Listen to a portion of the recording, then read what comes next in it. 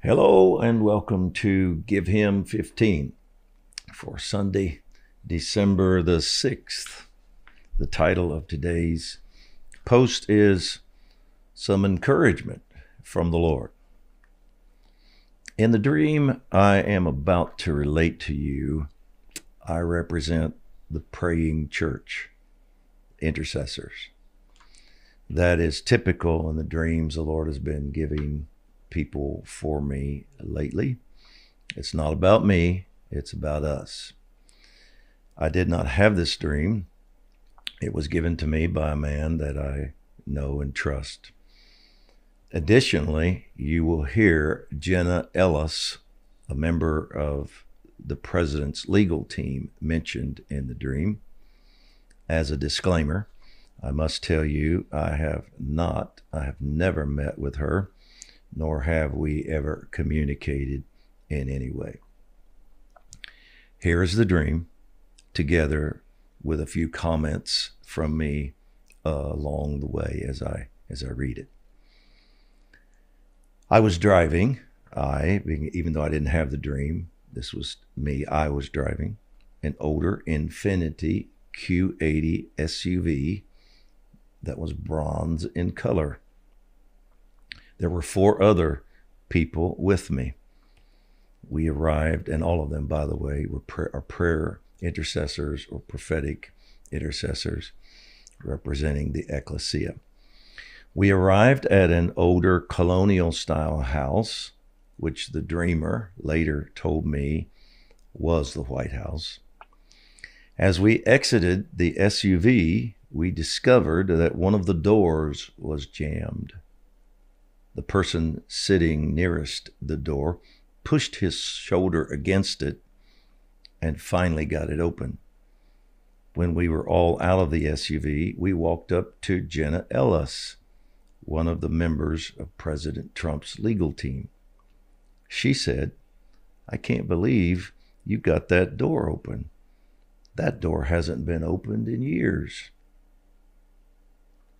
This tells me, as I think about the dream, there are doors that have been closed for years. One specifically, a door that's been closed for years, that God wants to use this situation, this election situation, in the prayers of the church, because it was one of the intercessors that was able to knock it open. So there's a door that has that has been closed for years that God wants to open through this situation. And I'm praying into that as to what that means. He continues the dream. Jenna Ellis then said to us, You have done well. Two states have flipped into the president's win column. Your assignment isn't over, though. We must have one more, and it has to be a significant one. I believe, I, Dutch, speaking now, interpreting this, I believe this means our prayers will cause at least three states to come into alignment for President Trump. Two will flip first, and then there will be one more, a very significant one. Then, in the dream, we left the White House and went to a river and boarded a boat named Mercy. We traveled down the river to another location where a large group of America's founding fathers were gathered.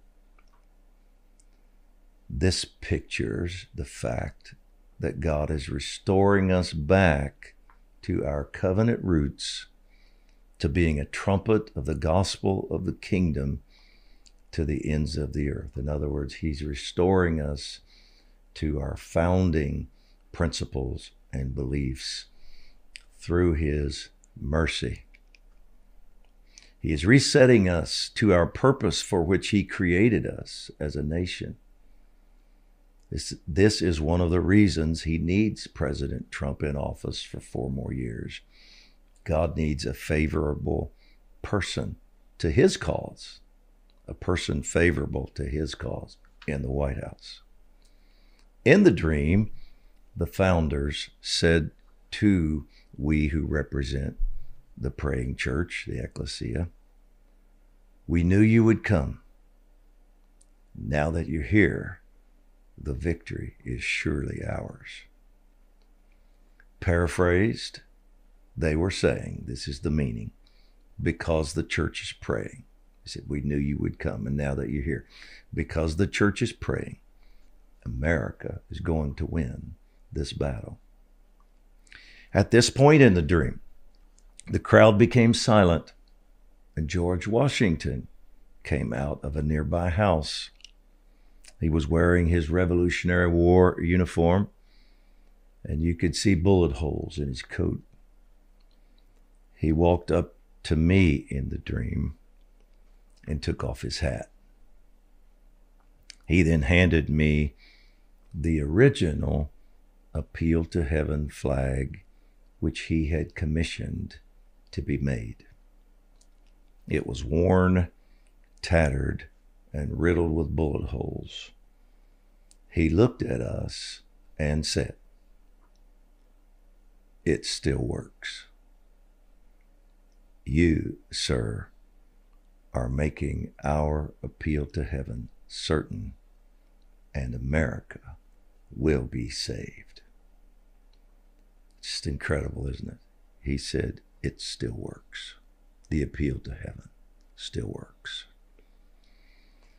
The Lord is clearly encouraging us and letting us know that as we intercede and recovenant this nation back to Him, we will prevail. Proverbs 21, 21 and 22 from the Passion Translation says, The lovers of God who chase after righteousness will find all their dreams come true. An abundant life drenched with favor and a fountain that overflows with satisfaction. A warrior, And this I want you to listen to this part very carefully. A warrior filled with wisdom ascends into the high place and releases regional breakthrough, bringing down the strongholds of the mighty. That's what we're doing.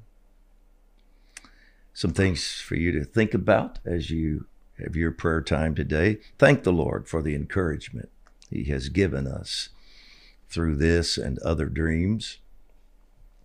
Pray prayers of encouragement over your fellow members of the of the, of the praying church of, of the uh, intercessors. Break off any discouragement or wavering in their faith. Pray against that. Undergird one another in prayer.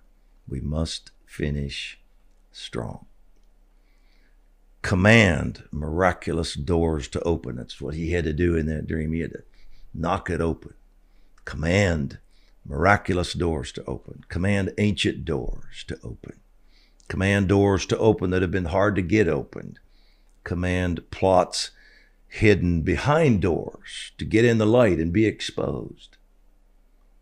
Pray for President Trump's legal team. Pray for the right witnesses to come forth with the right complaints and with evidence that can be proven in court. And here is our prayer. You can agree with me today. God, thank you for the encouragement you gave us in this dream.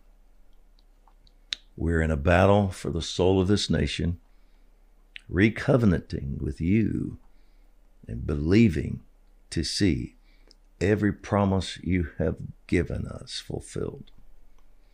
The sons of the kingdom your ecclesia, the praying church, are the key ingredient to all of this. We are your radiant ones, joyful in the battle, filled with faith, and looking for you to do miracles on our behalf. We are lovers of God who are chasing after righteousness for America. We will see all of our godly dreams come true. We are warriors clothed in your wisdom who will ascend to the high places and bring down every stronghold of the mighty. This is what you have decreed. You have put your decrees in our mouths, and we have released them as the sword of the Spirit, the sword of the Lord. We are seeing miraculous doors opened. We are seeing darkness exposed. We are seeing favor for the legal teams. We call forth those witnesses with factual evidence that can be proven in court. We call for the truth. We are seeing all these things in response to our appeal to heaven. We are joining our prayers with those of our forefathers, and we are going to win this battle in the mighty name of Jesus. Amen and today's decree. We are lovers of God who are chasing after righteousness through intercession. We will see all of our dreams for America come true. Amen. Amen. Thank you for joining me today.